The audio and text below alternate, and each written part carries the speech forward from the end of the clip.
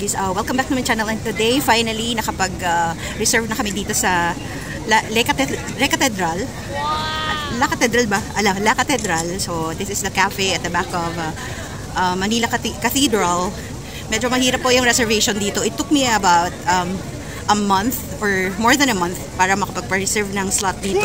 Kasi normally, they open the slot for the whole month lang and then wala pong advance reservation for the following month. So normally, um, medyo kahirapan din ang schedule because most of the week weekends ubus na. Even the the ones na 3 p.m. onwards. Yung as early as 3 p.m. na schedule ng weekend, ubus na po for the month of November.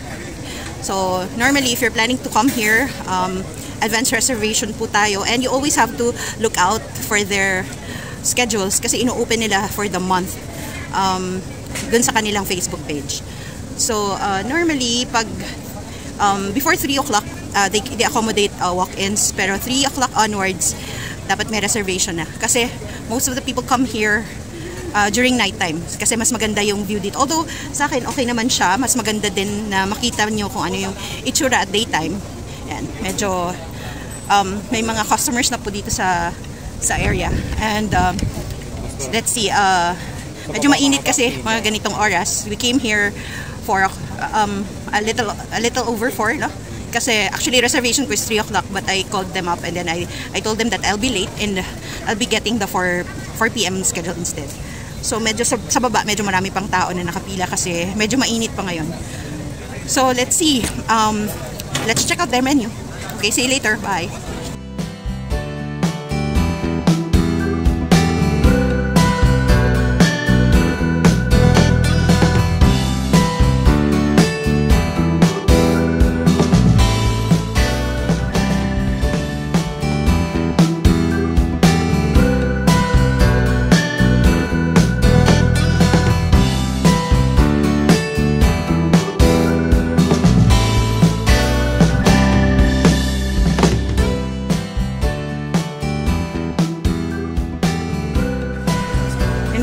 Tama yung oras ng Manila Cathedral. Po yung mga in-order namin. Nachos. Tapos, kay Melvin is red velvet frap. Tapos, sa akin is ice caramel macchiato. Ito daw yung bestseller nila dito. And this one is, ano tawag dyan? Sans Rival. Mango Sans Rival. Mini cake. baka parang yung parang in-order natin ka. Ha. So, yun. Ang masarap siya.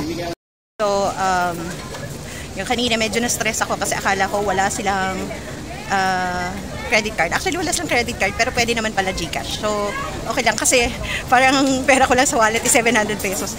Hindi kasi kito, talaga ako masyadong nagdadala ng cash where, wherever I go kasi I normally pay um, via Gcash or credit card. So, buti na lang may Gcash nila. So, yan, tuloy ang ligaya.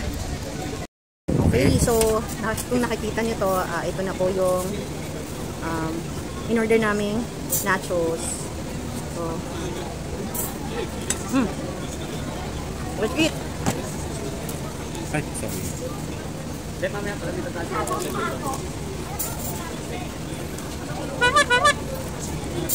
Masarap naman yung nachos nila. Medyo panghang lang. Mahang konti. So, let's try their ice, ice cafe macchiato. Ito po yun. And, gusto mo konti niya yung cake. Okay. This is the mango sanserval mini cake. So, yung sa'yo, Mel, yan mo. Hmm? Pakita mo yung drink mo. Ito yung drink ni Melvin, red velvet cappuccino. Hmm, First time ko mag-try. First time niyang mag-try dito sa ano. So, let's try their iced cafe macchiato. Ito daw yung bestseller nila. Hmm. So, tingnan natin kung masarap na. Kasi I don't normally drink iced coffee. Iced coffee lang eh. Usually frap ako. well, ice pa rin naman ang frap, pero actually, bihira lang din ako mag-frap eh. Hmm. Hot coffee talaga.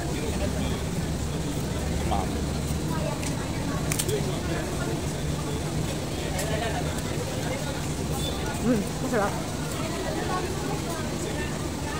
So, ganitong oras, okay lang. Medyo pinapawisan. ano po? May mamiyang konti wala na yan. Oo. Oo, dali lang yan. Mm, lalo pa ngayon, di ba, gabi. Oo nga. Hindi, da- last time nagpunta kami dito kaso reservation, ang hirap magpa-reserve ng gabi. haba ng pila. Haba ng pila. Kahit yung sa baba, di ba? No? Hihintay ng ano yun. Maggabi na. Sobrang dami kasi. Araw-araw So- Sunday. So pag gabi dito, ano, marami tao. Dito ka ako para makita sa vlog Ay, hindi naman.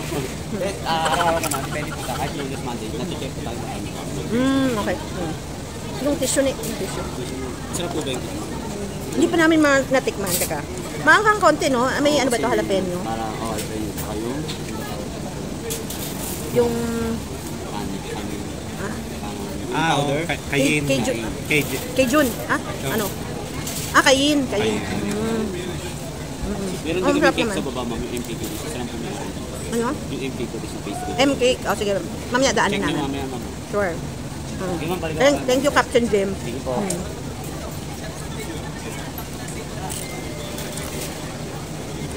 So, ayun na nga. Masarap naman siya. Actually, ito pa lang yung kinakain namin yung nachos eh. Mm.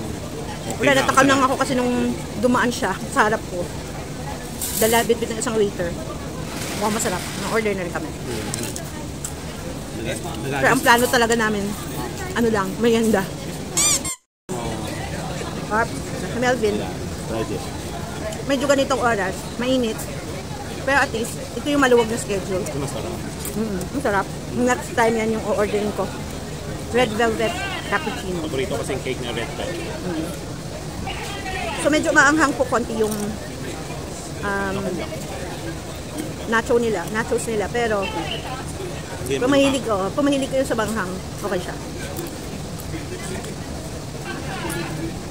Medyo mahangin naman siya. Hindi naman ganun kainit. Siguro pag alas 3 ka talaga pumunta dito na sobrang init. So pumunta kami dito ma past 4 na. So medyo okay na. Mas mara. Actually yung reservation nila for the whole month of November puno na. Puno na ng week weekdays, ng weekends. Ang weekdays na lang natin na natin tira. Yung mga 3 o'clock ng weekday. Hindi ba- Pero di sila basta-basta na papapasok. ah. Very Mm. So yung weekdays nila na panggabi, ubus na. Ang natitira na lang weekdays na alas 3 ha, saka alas 4. Na schedule. Yun na lang.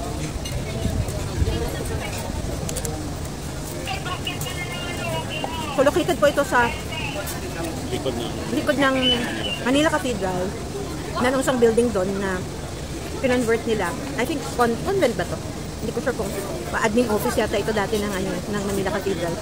Tapos yung roof deck or rooftop, ginawa na, kinonvert nila into a cafe. May mga function rooms din sila. So, ma maganda siya. So, pakita ko lang po yung paligid ah. Marami na kasing tao.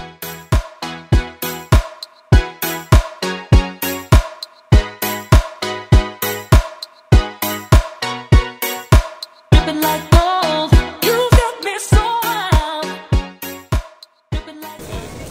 So kanina medyo kinabahan kami ng konti ni Melvin kasi hindi sila nag-accept ng credit card. So sabi ko nga, 700 pesos lang yung pera ko. So, nag-iisip kami ano yung orderin na magkakasya sa 700. Buti na lang na-mention ni Kuya na nag-accept sila ng Gcash. So, yun. Um, maglilipat na lang ako ng pera sa Gcash ko para makapagbayad ko din. At hindi kami maghugas, at hindi kami maghugas ng pinggan. Nakakang gamit nila. Oo. Ayan. So, medyo marami na pong tao dito sa katabi namin. Yan. Meron po kaming background. Ang belfry ng ano, Manila Yan Cathedral. ang pinakamagandang spot. Ayan. Itong um, Santrival. Mango Santrival mini cake. Mukhang masarap siya eh. Oo. So, mukhang masarap siya with coffee. Mm. I think mga 300 plus ito. Yung price.